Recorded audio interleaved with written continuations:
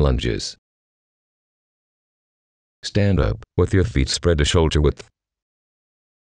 Take a step forward, keeping your torso as straight as possible. Bend the forward knee to form a slightly narrow angle or a right angle. Pushing with the front leg, return to the starting position.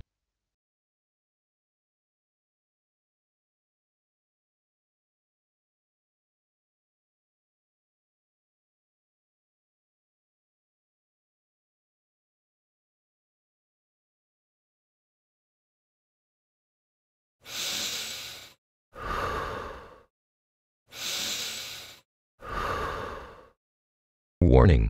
The breadth of the step forward varies the weight distribution on the various muscle groups. You can do this exercise in two ways. 1. Taking a short step strongly stimulates the quadriceps and reduces the load on the glutei.